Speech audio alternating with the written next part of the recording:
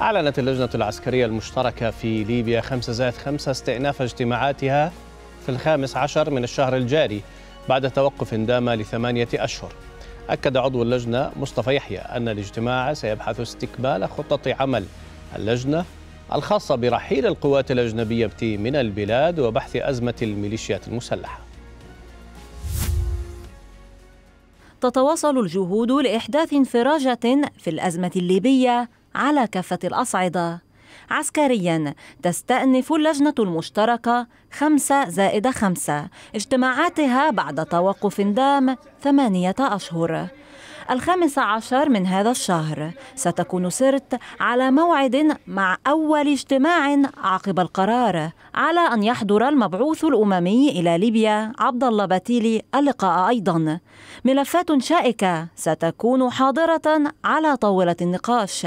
أبرزها استكمال خطة إخراج القوات الأجنبية وأزمة الميليشيات ويقع الملف الأخير تحديدا في بؤرة الاهتمام العسكري إثر المخاوف من اشتعال الأوضاع على الأرض في أي لحظة ووصولها لمرحلة لا يمكن السيطرة عليها لا سيما أن غربي البلاد لا يكاد يلتقط أنفاسه من الاشتباكات بين الميليشيات المتناحرة التي تندرع بين الحين والآخر. وكان آخرها الأحداث الدامية التي شهدتها مدينة العجيلات.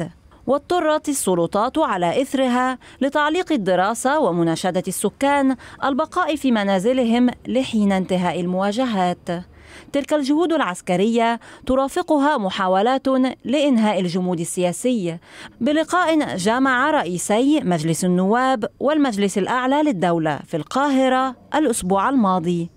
واتفق الأطراف خلاله على وضع خارطة طريق ومسودة للقاعدة الدستورية تمهيدا لإجراء الانتخابات.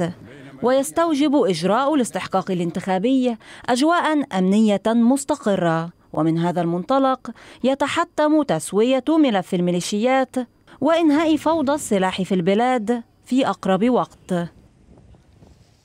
معنا من بنغازي مدير مركز التمكين للدراسات والبحوث الاستراتيجية محمد المصباحي. أهلا وسهلا بك إلى النافذة المغاربية. بداية لو نستذكر سوية لماذا آه، يعني تم تعليق اجتماعات هذه اللجنة لثمانية أشهر خصوصا وأن الاجتماعات الأولية كان في تفاؤل حول نتائجها خصوصا وأنها كانت تجري في جو من التفاهم بين الطرفين؟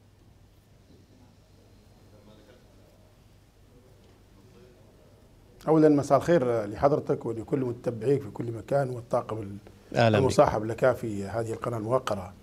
في الحقيقة لجنة الخمسة زائد خمسة أزم بأنها لم تتوقف في عملها ولم ولا هي الآن ليس في حالة استئناف بقدر ما هي مستمرة في عملها هذه لجنة العشرة وهي من الكوادر العسكرية الليبية التي تمثل قواتنا المسلحة العربية الليبية والمشكل في العمل أن أن العمل السياسي أو النخبة السياسية في ليبيا هي من تعرقل العمل في ليبيا. هناك مشكلتين أساسيتين أمام اللجنة العشرة وهي لجنة الخمسه خمسة هو موضوع إخراج المرتزقة كما تفضلتم في تقريركم وتسويه أوضاع المجموعات المسلحة أو حل المجموعات المسلحة التي الآن صار يتمترس خلفها السياسيون. السياسيون هم الذين يتمترسون خلف المجموعات المسلحة لإطالة الأزمة في ليبيا ولعدم حل المشكلة في ليبيا وحقيقة الآن أصبحت هذه المجموعات المسلحة وخاصة غير المؤدلجة منها والتي تعاني الكثير من في ظروفها أعتقد إنها سبب ضحية من ضحايا من ضحايا السياسيين والان لجنه الخمسه خمسه وأنا مصادر مؤكدة من داخل اللجنة بأنهم عملوا خطة متكاملة لتسريح المجموعات المسلحة بالتنسيق مع هؤلاء الشباب من أجل إنهاء حملهم للسلاح. والانتقال إلى الحياة المدنية والحياة التي آه، تحفظ لهم كرامة العمل وكرامة العيش ووجودهم في في داخل مؤسساتهم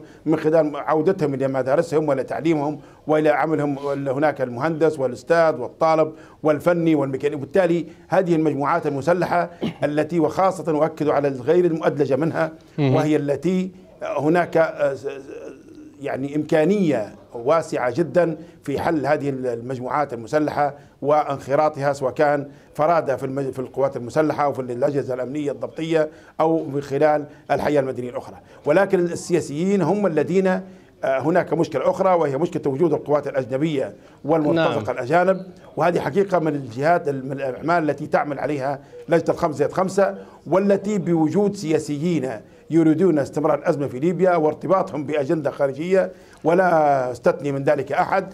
من أجل أن يبقوا في سدة السلطة ومن أبقى من أجل أن تستمر هذه الحالة. إذا لابد من تمترس خلف السلاح وهذا السلاح هو التي ضحيته المجموعات المس... أستاذ محمد المجموعات المسلحة التي أصبحت الآن ضحية من ضحايا صحيح الفساد قبل قبل نحو عام يعني في أول اجتماعات خمسة زائد خمسة كان في حديث فعلا عن ضرورة خروج المجموعات الأجنبية وحتى وضع بعض الجداول يعني مجموعات من الميليشيات الأجنبية في الشرق تغادر مقابل مجموعات في الغرب. وكان في حديث نشط وقوي وحتى مدعوم من الغرب عن هذا الموضوع.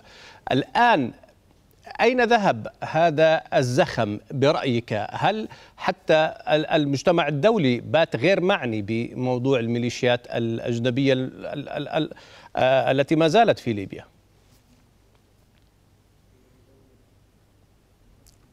أحسنت. وهذا عبء آخر على لجنة العشرة وهي لجنة خمسة خمسة هذا العبء الحقيقي اللي هو تخلي المجتمع الدولي على التزامه في المساعدة في إخراج المرتزقة والقوات الأجنبية والمقاتلين الأجانب بشكل متوالي ومتوازي ووفق مراحل معينة. ولكن المجتمع الدولي والمجلس الأمن والاتفاق جنيف هو الذي خذل هذه اللجنة وترك هذه اللجنة تعمل منفردة ولولا عزيمة رجالها من القوات المسلحة في الغرب والشرق من الخمسة زائد خمسة لانحلت هذه اللجنة وأصبحت في مهب الرياح ولكن هناك عزيمة في رجال القوات المسلحة على استمرار هذه العمل وعمل هذه اللجنة. رغم تخلي المجتمع الدولي على مهمة هذه العمل على مهمة هذه اللجنة وخاصة أن هناك كانت تواريخ محددة آه، فرح بها الليبيون وفرحنا بها كثيرا بأن هناك موعد لخروج كل المرتزقة من كل مكان وكانت هناك بداية من من القوات القيادة العامة للقوات المسلحة بإخراج مجموعات وبتت في الإعلام المجموعات التي كانت مرتبطة بالقيادة العامة وتم إخراج جزء منهم والآن مستمر هذا العمل. وأنا متأكد أن إرادة اللجنة خمسة خمسة رغم رغم ضيق ضيق الدعم لها سواء كان هذا الدعم المحلي والمتمثل في السياسيين أو الدعم الدولي المتمثل في المجموعه الدول التي تساهم بشكل أو بآخر في التدخل في الشأن الليبي أو الأمم المتحدة وبعثتها. وهذا ما نقل للسيد مبعوث الأمين العام السيد عبد الله بتيلي الذي ألتقى بكثير من المجموعات في ليبيا طيب. وأنا حضرت احد هذه اللقاءات وتم التأكيد على أن الليبيين يريدون الجلوس مع بعض محمد. ويريدون حل هذه المشاكل أه وخروج المرتزقة والمقاتلين الأجانب وكان ذلك بحضور لجنة العشرة التي رأيناها منسجمة مندمجة مع بعضها كفريق واحد صحيح. يمثل التراتبية طيب. العسكرية ويمرتب الضبط والربط العسكري ولم نستطيع أن نفرق هذا من أي مجموعة وهذا من أي مجموعة إلا بالمعرفة الشخصية في أسمائهم أستاذ محمد هنا أيضا مهم هذا الشيء لأنه اللجنة يعني هي تحل الأمور العسكرية. آه، في آه، يعني محاولات لتوحيد الحكومة محاولات لإجراء انتخابات لكن آه، في النهاية موضوع توحيد الجيش موضوع من هو القائد الأعلى للجيش هل هذه المواضيع تدخل فيها اللجنة خمسة زائد خمسة أم أنها يعني تنأى بنفسها عن هذه المواضيع وتعتبرها سياسية متروكة للسياسيين؟ لا هناك في في في في في, في إدارة الجيش وفي قيادة الجيش هناك مسألتين مرتبطات ببعضهم البعض، الأولى وهي مرتبطة بالتراتبيه العسكرية. يعني لا أعتقد أن هذا موضوع يضبطه القوانين العسكرية وهي التراتبيه الأعلى فالأعلى فالأدنى فالأدنى فالأدنى وهذا بتاريخ التخرج بالرتبة بالوجود وبالتالي هذه ما فيهاش مشكلة في في في, في عند المؤسسة العسكرية والمؤسسة الأمنية كذلك. ولكن المشكلة وأيضا هناك أخرى وهي مرتبطة بموضوع الانتخابات. فالقائد الأعلى للجيش هو رئيس الدولة وفقا للحال الطبيعي. من ينتخبه الليبيين سيصبح رئيسا للدولة. من, من ينتخبه البرلمان سيصبح وزيرا للدفاع. وبالتالي هناك آلية والقائد العام للجيش هو هناك تراتبية لها علاقة بالتراتبية والسلم العسكري الذي نحترمه جميعا والذي ما هذا ما يجعلنا نحترم المؤسسة العسكرية ونتعامل معها كأساس اساسي في المجتمع وفي البلاد وهي التي تمثل المهمة الأساسية في السيادة وكرامة المجتمع وحماية حدوده الداخلية والخارجية. وبالتالي ليس هناك مشكلة وليس لا أعتقد أن هناك مشكلة في لجنة 5 زائد 5 مشكلة ال 5 زائد 5 في الآن في شغلها هو المرتبطة ب ب ب بشيئين أساسيين وهو خروج المرتزقة والقوات الأجنبية والمقاتلين الأجانب من جهة و تسريح المجموعات المسلحة ودمجها في المجتمع لأن هذا أبنائنا وأخوتنا وأهلنا وبالتالي آه، نعم. ما عندهم من يطلع من ليبيا. هذا أبنائنا وأهلنا وبالتالي وكان لهم دور كبير منهم في مجموعات منهم وخاصة المجموعات غير مؤدلجة في حفظ أه. الأمان في حفظ السلام في حل كثير من المشاكل في استقطاب في استيعاب الناس التي هجرت من منازلها. كان لها دور. ليس كل شيء سلبي في هذه واضح. في هذه أشكرك. أشكرك. شكرا جزيلا آه، ضيفي من بنغازي مدير مركز تمكين للدراسات والبحوث الاستراتيجية محمد المصباحي.